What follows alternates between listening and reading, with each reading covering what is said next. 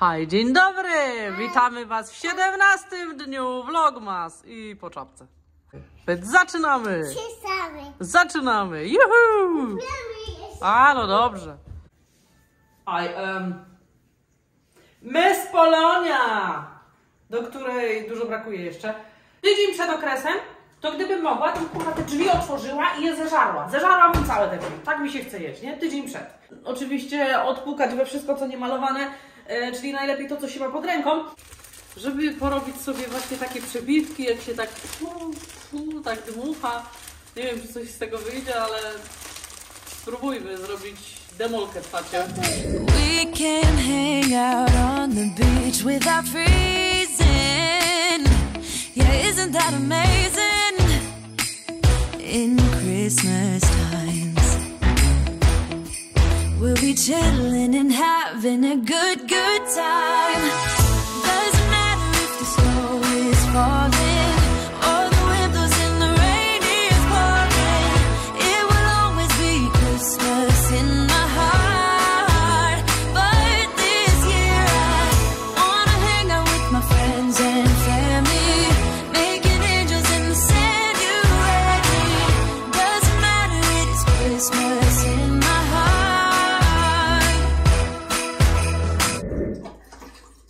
Ojej, paluszek się ubrudził. Jest to do opanowania, ale zawsze, zawsze jak maluję rzęsy, to jest tak. Ja nie wiem, dlaczego się otwiera usta przy malowaniu rzęs, co? Co nam powietrza nosem brakuje? I zawsze. No ja nie wiem, zawsze. I przyłapuję się na tym, zamknę. Mogę pomalować zamkniętą japą, ale po co, skoro mogę sobie wietrzyć, nie?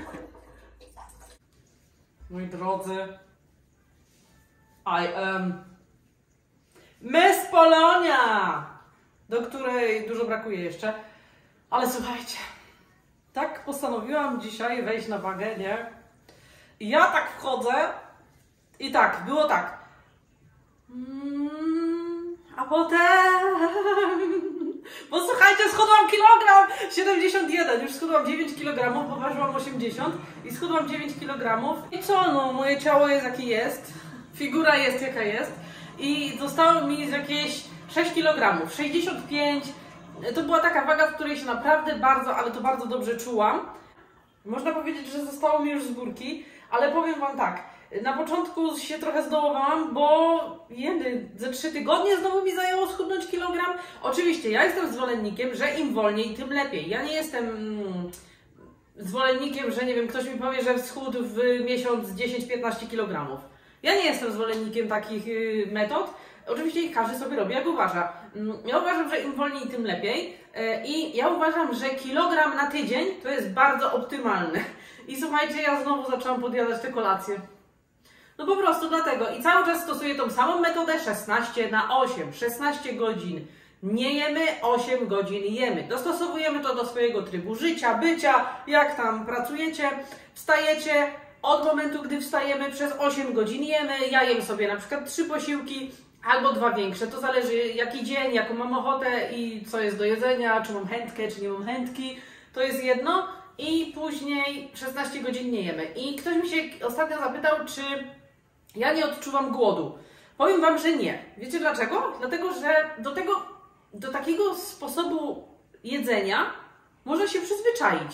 Bo to nie jest już nawet, to nie można nazwać dietą, tylko tak można żyć i odżywiać się latami, wiecie? Oczywiście w którymś momencie przestajemy chudnąć, bo albo troszeczkę zaczynamy więcej jeść, czy, czy coś takiego i to nam się wtedy unormowuje. I na przykład ja, tak jak ja wiem, ja się powtarzam jak takie stare zepsute radio, że ja tą metodę stosowałam ponad 10 lat temu, gdy za pierwszym razem schudłam y, te 45 kg i Naprawdę do tego można się przyzwyczaić. No początki bywały różne, mi się chciało tak żreć, że to było okropne, ale z biegiem lat, jak y, ta metoda jest wprowadzana co jakiś czas, to powiem Wam, że to jest naprawdę lajtowe i to jest taki tryb życia, do którego się naprawdę można nieźle przyzwyczaić i nie odczuwamy tego głodu. Przychodzi kolacja, to nam się automatycznie naprawdę nie chce jeść. Mi się chce jeść na przykład przed okresem. Co Wam mówiłam, że tydzień przed okresem to gdybym mogła, to bym te drzwi otworzyła i je zeżarła. Zeżarłabym całe te drzwi. Tak mi się chce jeść, nie? Tydzień przed. Później normalnie jak ręką odjął mi to mija. Ale tydzień przed nie mam jakiegoś nabuzowania, nie mam jakichś takich nerwów, znaczy, no może lekkie, no nie ukrywajmy, ale jeść to mi się chce okropnie, okropnie mi się chce jeść. Także cały czas ta sama metoda. No i tak się trochę zdołowałam, bo myślałam, że może ze 2 kg, nie, a to tylko kilogram. No ale dobrze, więc znowu musimy przestać jeść kolacyjki. Ważne, że jakiś kilogram zleciał. Więc zostało nam mniej więcej tylko 6 kg, z czego się bardzo, ale to bardzo cieszę. I myślę, że na te najbliższe wakacje po nowym roku jest to jak najbardziej realne. Może mi ciutkę zabraknąć, tyle Wam chcę powiedzieć i w ogóle chcę Wam jeszcze coś powiedzieć na temat naszych zbliżających się wakacji. To to, że właśnie lecimy do Tajlandii. Z Tajlandii lecimy gdzieś tam i dziś wpadł pomysł. No i dzisiejszy plan był taki, że chyba lecimy jeszcze w trzecie miejsce. Trzecie miejsce, które po prostu ja bym, gdy tam stanę, to nie uwierzę w to, że, że tam będę. Ło- Głowa to mi po prostu tak mi buzuje, ale to jeszcze nie jest dopięte na ostatni guzik. E, I okazuje się, że miejsce w Tajlandii chyba też musimy zmienić. Nie lecimy w to miejsce, tylko musimy lecieć w inne miejsce. Mm, Ale to Wam wszystko powiem w filmach. I mm, tak, robimy znowu sobie tajemnicę po raz kolejny. Yy, Nie chcę Wam mówić, gdzie lecimy. To znaczy wstępnie wiecie, że lecimy do Azji, lecimy do Tajlandii i jest plan, że lecimy na pewno w inne miejsce i jest trzeci plan, że lecimy w trzecie miejsce. Ale tego nie wiemy jeszcze. Także na pewno będą dwa kraje do zobaczenia. Jak nie, to trzy. Ale to nawet my nie wiemy w tym momencie. I nie zapomnę, jak kiedyś, chyba teraz w lipcu nawet, gdy leciliśmy, no to zresztą to nie było moje pierwsze wakacje, na które nie powiedziałam, gdzie lecimy. Kilka już takich było i nie zapomnę, jak zdarzają się komentarze, że o Jezus, tajemnica sobie robi, że gdzie ona nie jedzie, ona nie powie, to jest brak poszanowania widzów. Yy, Komuś się chyba coś pomyliło, moi drodzy. Co znaczy brak poszanowania widzów? Brak poszanowania widzów by był w momencie, gdybym yy, cały czas pieprzyła, tak jak teraz, że jedziemy na wakacje, przyszłyby wakacje, a ja bym stwierdziła, ej, Dawid, Robię sobie przerwę, nie nagrywam nic, nie wrzucam nic. Taki po prostu totalny, no luz, blues. Takie pierwsze wakacje, na których nie nagrywam filmów. I potem wracam i nagle mówię, że o jak było zajebiście, słuchajcie, byliśmy tu i tu, widzieliśmy to i tamto i nic bym Wam nie nagrała, nic, ani jednego vloga, bo tak jak bym powiedziała, podejmujemy taką decyzję, że po raz pierwszy w życiu robimy taki totalny chill, a cały czas przez ileś miesięcy bym gadała, że gdzieś jedziemy i wielka tajemnica, nie? To to! Jak najbardziej. Był ogromny brak poszanowania widzów, ale nie to, że chcę sobie zrobić dla widzów niespodziankę. Co? Kto mi zabroni? Któryś raz z rzędu to robię i tym razem też zamierzam. Także powiem Wam, że jak sobie pomyślę o tym trzecim miejscu, to dzisiaj nawet nie wiem, czy nie zjem obiadu. nie będę jadła obiadu chyba i... Nie no, żartuję, no nie będę się głodzić, bo ja efektu jojo, u mnie jest efekt jojo. Jak ja się przegłodzę, oczywiście, że w swoim życiu stosowałam kiedyś głodówki, kilkudniowe nawet, Jezu, jakie to było straszne. To potem, jak na przykład, nie wiem, przez 3 dni udało mi się schudnąć nawet, nie wiem, z 2, prawie 3 kg, to po tygodniu ja miałam 6 na plusie. Poważnie, jeszcze raz tyle miałam na plusie. Także ja jestem osobą, która jak zrobi głodówkę, nawet wiecie co? Jak zrobiłam kiedyś detoks z sokami, yy, który też był dla mnie trudny, możecie pamiętać nawet w filmie, to yy, jednego chyba ja nie dotrzymałam, a drugi robiłam sobie taki sama dla siebie i nigdy o nim nie powiedziałam. Nigdy nie nagrywałam tego, że robię sobie detoks. Y, To ten, który nagrywałam, to chyba było tak, że nie wytrzymałam, a ten drugi wytrzymałam i było mniej więcej to samo. To był detoks trzydniowy, wytrzymałam te trzy dni, ale było kurczę ciężko. Naprawdę było ciężko i powiem Wam tak, schudłam 2 kg i po tygodniu miałam 4 na plusie. Więc ja jestem osobą, która której jojo to bardzo wchodzi, bardzo, po prostu tak pff, od razu, z automatu. Ja nie mogę się głodzić, a taki styl, który ja prowadzę teraz, to jest idealny. I jeszcze raz przypominam, no nie mam żadnych przeciwwskazań jedzeniowych, tak? Nie mam uczulenia na nic, nie mam yy, oczywiście odpukać we wszystko, co niemalowane, yy, czyli najlepiej to, co się ma pod ręką. No nie mam żadnych przeciwwskazań jedzeniowych, yy, że nie mogę jeść tego, tego czy tamtego. I chcę to przedłużyć jak najwięcej się da, bo wiem, że przyjdzie taki moment, w którym, nie wiem, no będę miała na przykład 50 na kartku i się okaże, że no wiecie, metabolizm tak spowolni, że może by trzeba było zrezygnować trochę z tego makaronu, a trochę, z- tego chleba, a teraz no nie muszę. Po prostu jem wszystko, co widzicie, co Wam pokazuję, i pizzę, i chleb, i wszystko. Yy, także tak to mniej więcej wygląda. Ale powiem Wam, że jak polecimy w to trzecie miejsce, to się chyba zesikam. Naprawdę ja się. Znaczy, no nie, no nie, no nie, no, no nie, no przesadziłam trochę, co? Ale no naprawdę, ja chyba będę ryczeć. Ja nie wiem, czy ja pierwszy raz w życiu nie będę ryczeć, po prostu. Ja uważam, że raz się żyje, nikt za nas życia nie przeżyje i właśnie traktujmy je tak jakby, jakby, znaczy nie jakby, bo raz się żyje, o to mi chodzi i, i rzeczywiście jak mamy możliwości, to traktujmy tak to życie. Raz się żyje, ryzykujmy, trudno, niech się dzieje co chce. Jak mamy potem przez dwa miesiące żreć chleb z wodą, trudno, trudno. Ryzykujmy, naprawdę, raz się żyje. Jest powiedzenie, że kto nie ryzykuje, ten nie pije szampana, prawda? A u nas będzie powiedzenie, że kto nie ryzykuje, ten nie je później przez dwa miesiące suchego chleba z wodą. Wiem, żart. Suchy, ale cały czas żart. Standardowo powiedzmy sobie co na obiad. I zobaczcie, bo wyciągałam wszystko, co można by było zużyć. Znaczy są jeszcze warzywa, ale zużyjemy tak. No, jak widzicie, pora, cukinie, trochę dam kapusty, nie całą, taki kawałek ukroję, też przesiekam, przesmażę. Dwie marchewki, które widzicie, one są trochę tak wołające o pomstę do nieba, więc je na pewno wykorzystamy. I słuchajcie, znalazłam jeszcze tak, puszkę, puszkę słoik y, pomidorów suszonych, więc myślę, że je damy. I zatrzemy dosyć sporo tego sera, doprawimy to jeszcze czymś i ugotuję do tego ryż. I taki ryż z warzywami, trochę z serem, trochę z suszonymi pomidorami, myślę, że będzie fajnie. Yesterday there was sun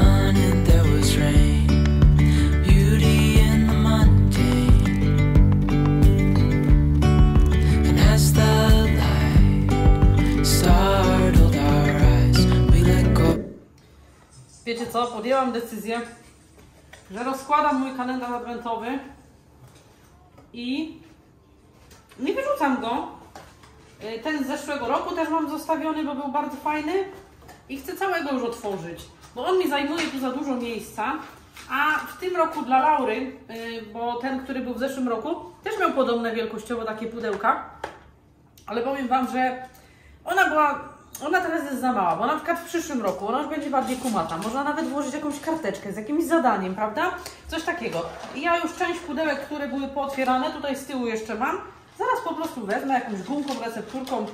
O, mam poskładane. Je zwiążę, żeby one sobie były i może się przydadzą właśnie na przyszły rok. A są fajne, bo jeszcze mają y, tutaj zawieszkę, więc może coś tutaj wykombinujemy, więc postanowiłam, że otworzę sobie wszystkie okienka i schowam. I powiem Wam, że w tym roku nuty zapachowe świeczek są y, zupełnie inne. Dwa lata z rzędu one się chyba powtarzały. W tym roku są zupełnie inne. Takie bardzo mi się podobają, takie, no naprawdę są inne, takie, ten mi wpada trochę w męski, taki naprawdę ładny, ładny. Spadną kartoniki? Nie, nie spadną mi. I mm, był dyfuzor zapachowy, bo co roku jest dyfuzor zapachowy i postawiłam go na korytarzu. I nawet Dawid mówi, coś ładnie pachnie na korytarzu? A ja mówię, no to przecież Rituals, nie? A on, a, no tak. I powiem Wam, że ten zapach jest y, mocny, ale jest, nie jest męczący. Ja na przykład no nie mogę coś używać jednak y, wosków y, ani świeczek od Andziax. Po prostu te zapachy są intensywne. To jest oczywiście bardzo dobre, bo gdy mamy ogromne pomieszczenie i chcemy je wypełnić zapachem, to nie musimy wcale dużo tego y, robić, tak? Udawać te, tej, tego wosku. Ale ja nie mogę. Coś mnie tak głowa boli. No, no nie mogę. No, w zeszłym roku, jak kupiłam te woski na święta, te zapachy są przepiękne. One są prześliczne, te zapachy. Ale nawet moi rodzice mówią, Karola, co tu tak pachnie, bo my już nie dajemy rady. No naprawdę, no nawet jeżeli ludzie mówią, to znaczy, że coś jest nie halo, nie? I słuchajcie, ja mam 40 metrów tutaj. To nie jest mało. I to nie jest tak, że ja tutaj odpalam 10 świeczek, tylko odpalam jedną i to daje radę, ale chodzi o to, że po prostu nawet ludzie nie, nie, nie mogą wytrzymać, bo coś są zapachy, które coś w sobie mają, że po prostu głowa boli. I od zapachy też takie coś mają. A te z Rituals są jakieś takie naprawdę wyważone, jakoś tak, no nie wiem jak to jest zrobione. I, ale no ja nie mogę. Są osoby, które lubią jej zapachy, bo mi się bo ogólnie bardzo podobają zapachy. O, fajna jest ta pomadka, bo była e, w zeszłym roku. Fajna, naprawdę. E, I ma takie fajne opakowanie. O, cyk. I tu się naciska i cyk. Naprawdę fajna. Oj, dźgnęłam. Maska do włosów, keratynowa. Ale zapach. No naprawdę. I wiecie co? Nawet przy tych jej woskach mam takie coś, że wącham, są piękne i nawet gdy dłużej powącham, to już czuję takie coś w wełbie. A tu nie mam takiego czegoś. Te zapachy są, no, no, no piękne są te zapachy. I oczywiście są osoby, które mm, nie mają takiego czegoś jak ja, no ale ja takie coś mam i nic na to nie poradzę. Nie to, że one są brzydkie, czy, czy, czy są źle zrobione, czy coś, ale no nie każdemu to służy i ja jestem jedną osobą, która to, no niestety, no jakoś nie daje rady. O, i mamy nawet perfumy. W zeszłym roku też były perfumy, takie niebieskie pamiętam, też były ładne, takie delikatne. Też ładne, o matko, oj. Naprawdę, no jeny, no ta firma, jeżeli chodzi o zapachy, dla mnie wygrywa. Wygrywa. Jest kilka rzeczy, których na przykład nie miałam i na przykład to home perfum. A, są perfumy do domu. A, widzicie, czyli można tak popsikać. A jak to pachnie? Mm, no ładne są, naprawdę ładne są. To jest pomarańcza, yy, sweet orange i coś, nie wiem co to jest to drugie, ale bardzo ładny zapach. I one nie są takie wkurzające te zapachy, no śliczne są. To też jest jakiś detergent do prania, bo ten, który był ostatnio był po prostu boski. Mm, no to jest chyba z tej samej serii, ale pięknie. I zastanawiam się, żeby sobie nie zamówić jakiegoś dyfuzora jeszcze właśnie, żeby mi przed świętami przyjechał i sobie postawię i będzie pięknie, ładnie pachniało, bo wiem, że te zapachy nikogo nie wkurzają u mnie z rodziny i spokojnie mogę je właśnie dać. Także tak się zastanawiam, czy by tak nie zrobić. Co robisz? Ty zakładam. A, torebkę zakładasz? Idzie. A dzidzie zakładasz? Torebkę? Yy, dzidzi torebkę, tak? Aha. A gdzieś idziesz? Na miasto? Jeszcze. Aha, do sklepu jedziesz? Lapu. Aha, po co jedziesz do sklepu? Lapu. Ale co sobie kupisz? Cikaki. Tiktaki i coś jeszcze sobie kupisz? Sicie. Picie i co jeszcze? Jabłka. Jabłka i co jeszcze? Jabłko pisze. I co jeszcze sobie kupisz? Wodę. Aha, to to... Tatusie wodę. A z tatusiem potem? Aha, dobra, okej, no to super. Y, Będą ostre zakupy, nie? Osy. No, a dla dzidzi coś kupisz? Czy nie? Ty nie. A nie, dzidzia nic nie dostanie? A nie. Może cukierki jej kup? A masz pieniążki w torebce? Czy nie masz pieniążków? Bo trzeba pieniążki w torebce, nie? Tak? Czy nie masz nic? Już jest. A już jest? Aha. Piluszki mam. Masz pieniążki? No to super. Dużo? Patrz. O, dziękuję. Masz. Dzia. Konie. Aha, dziękuję. Papa. Papa, no to cześć. Tak szperałam w mojej szafce, w której pozamawiałam różne te balony i jeszcze mam tak. Mam y, te zielone, mam dosyć sporo takich czerwonych, tylko one są dosyć duże. Jeszcze mam takiego dużego mm, dziadka do orzechów i powiem Wam, że te balony w tym roku naprawdę robią furorę i w ogóle podsyłaliście mi zdjęcia. Ja udostępniłam chyba tylko jedno zdjęcie na Instagramie, dlatego że jak się poświęcam YouTube'owi, to się poświęcam YouTube'owi. E, no i tyle. I słuchajcie, udostępniłam tylko jedno zdjęcie, a podsyłacie mi tyle zdjęć, że też kupiliście balony i udekorowaliście choinkę i to mega wygląda, także super. E, bardzo mnie to cieszy i zobaczcie, te balony nie są wcale takie duże. Mm, I na przykład może by było też fajnie na schodach je obwiązać czy coś, ale już nie będziemy ich w tym roku dmuchać. Także może w przyszłym roku je gdzieś sobie mm, zawiesimy. Na pewno balosie nam nie zginą, prawda? Prawda? Dużo lej. No dużo jest, no.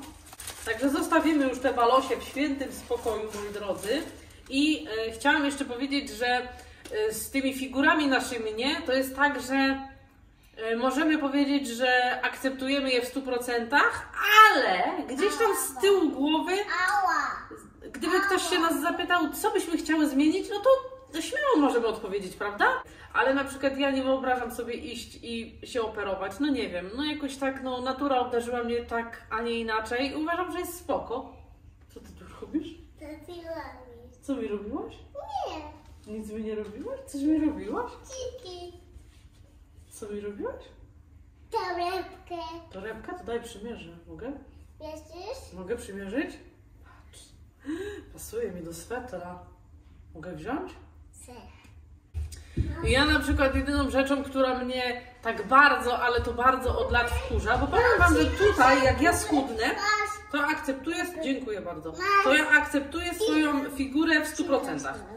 Mogłabym tam mieć, uważaj na kamerę, mogłabym mieć trochę większy, nie wiem, tam cycek, y, trochę mniejszy brzuch może, czy coś tam, ale jest okej, naprawdę jest spoko. A na przykład jedyna rzecz, która mnie bardzo, bardzo, bardzo wkurza, to to, że zobaczcie, y, fakt, że już mi gęba schudła, bo schudła mi gęba, ale ja mam cały czas pyzowatą gębę, nie? Ja mam cały czas taką pyzowatą gębę. I moja gęba naprawdę chuda to jest dopiero w momencie, gdy ja ważę takie 60 tam y, z 2 kg, coś takiego, nie? To ja wtedy rzeczywiście mam chudość gębę. Dziękuję bardzo. A tak to, no to ja mam taki właśnie mój kompleks pyzowatej buzi. Niby się schudło, ale nie przyjdzie. ale ja to akceptuję, no, no, no co zrobię? Zrobiłam coś hardkorowego, mimo że jest śnieg za oknem, można by było to sobie nagrać fajnie też na dworze, to chciałam porobić sobie jakieś takie fajne przebitki i kupiłam taki sztuczny śnieg. Żeby porobić sobie właśnie takie przebitki, jak się tak fu, fu, tak dmucha. Nie wiem, czy coś z tego wyjdzie, ale spróbujmy zrobić demolkę w chacie. Mam dwie torebki. Musiałam powiedzieć w zamówieniu, bo na 100% chciałam jedną. Ale to druga będzie na przyszły rok. Jeżeli ktokolwiek z Was lubi odkurzać, to niech sobie zrobi to samo co my. Patrz. To tam takie coś jest. Ale syf. Ale syf. Dziecko. Dziecko powiedz. Ale powiem Wam, że wygląda fajnie jak sztuczny rzeczywiście, bo były dobre opinie tego śniegu. Ale mi nie chodziło o to, żeby on dobrze wyglądał, bo ja nie będę nic z tym odsypywać, tylko chciałam właśnie zrobić sobie mądre przebitki, jakieś zdjęcia, no nie wiem, zobaczycie. Let's go outside. The snow is falling down, and every child is having so much fun. The snowman is twice the size as me, with a smile as quirky as mine. We're holding hands to keep each other warm while we stand and watch a choir performing all the Christmas songs that we love. Yeah, all the Christmas songs that we love. And in a while, we're gonna go inside and drink our chocolate by the fire. Cause all I want is to spend this day with you. Let me give you a Christmas, a moment we'll fill with love and joy. Mm-mm, so beautiful, kissing on a mistletoe, baby, with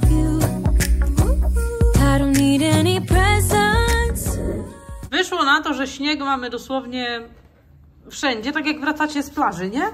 To śnieg, śnieg, Boże, piasek jest nawet w gaciach, to tutaj mamy coś takiego, yy, na włosach wszędzie, na razie nie możemy się tego pozbyć. No zdmuchałaś, super. I powiem wam tak, że zdjęcia jakieś tam jeszcze nam wyszły, ale e, przebitki to takie no średnio najeżdża.